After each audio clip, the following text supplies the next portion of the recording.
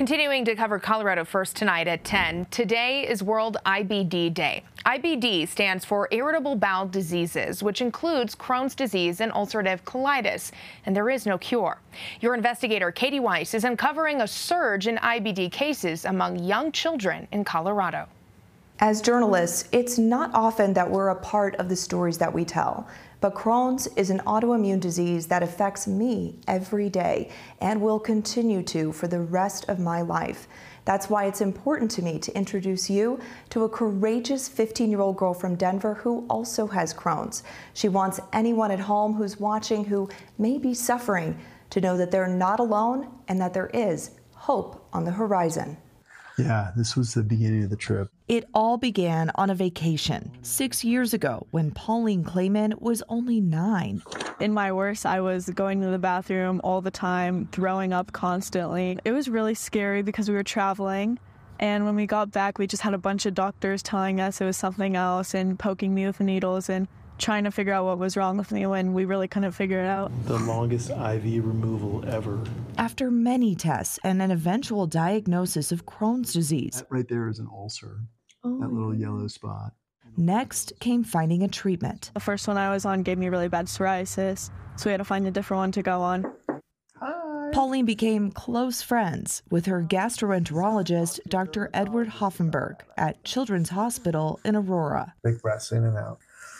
He says he's seen a huge increase in IBD cases in children. The severity is greater, and they're presenting younger and sicker. Diarrhea, bleeding, not growing, vomiting. And then uh, others can show up a little later with more of the non traditional stuff. So they might have skin things and joint things, and looks like food allergies. CU Anschutz researchers found environmental factors are becoming more common causes. Why do you think that might be?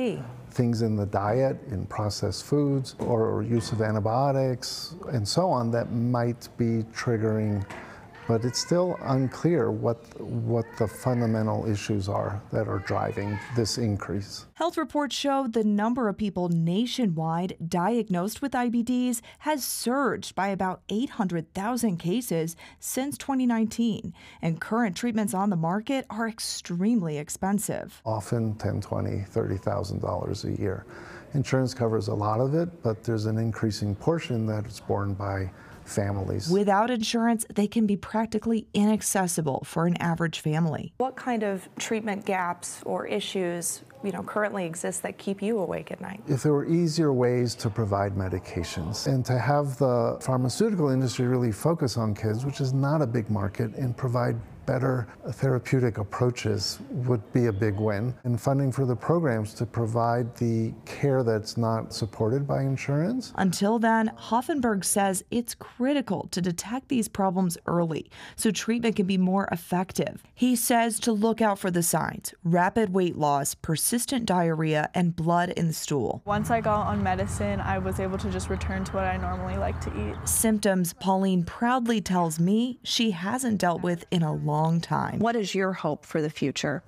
I really hope that maybe one day you find a cure, but if not, I really get excited about the pills options that are coming out recently because it's just much easier than having to inject yourself with a needle or go to the hospital.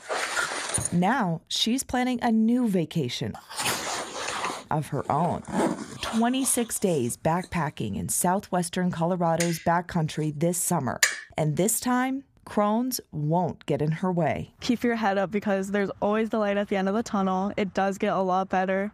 For resources on treatments, diets, and even how to participate in research, just find this story on our website right now, cbscolorado.com. I'm Katie Weiss, covering Colorado First.